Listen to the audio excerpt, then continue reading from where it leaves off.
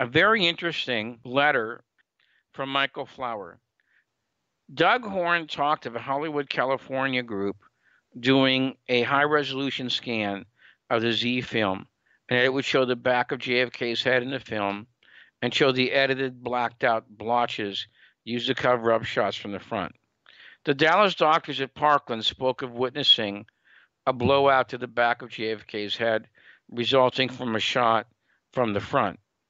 I watched a new documentary, A Coup in Camelot, that spoke of the 6K scans and had Doug Horne in the documentary. However, I didn't see any part of the documentary that mentioned the Z film specifically and showed the blot, the crude blotches edited in to cover up a shot from the front. So my question is, will these high resolution scans involve something in the future, or were the scans not fruitful? All right.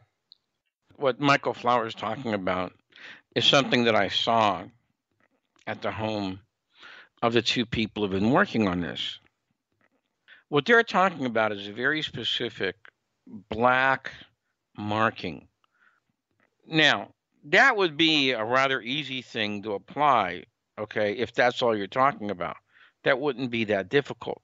And when you see their version of it, it does look like that's the case. The problem with it is this is that they're working from a third generation copy of the Z film.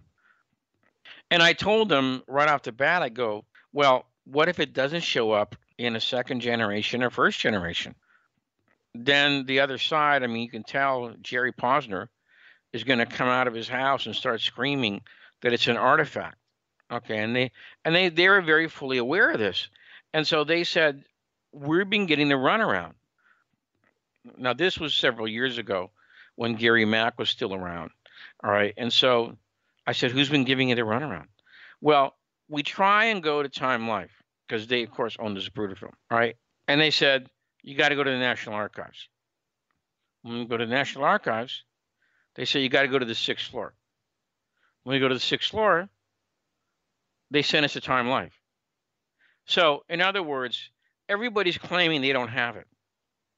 But they did exist because Tink Thompson had them when he was working for Life magazine back in 1966 when they were going to do a special report on the Kennedy assassination. I know for a fact he saw them, and I also know for a fact that Ray Marcus saw him when he went to visit him at Life magazine.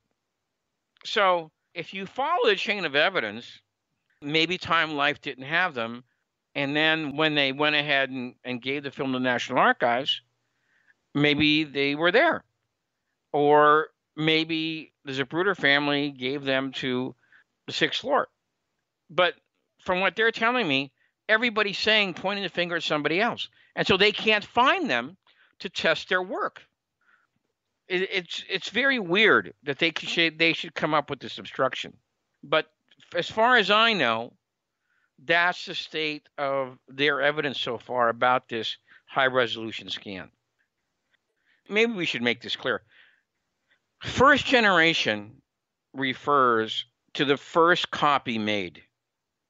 So, in other words, if you had first generation transparencies, they came from the original. Second generation refers to copies made from the first generation.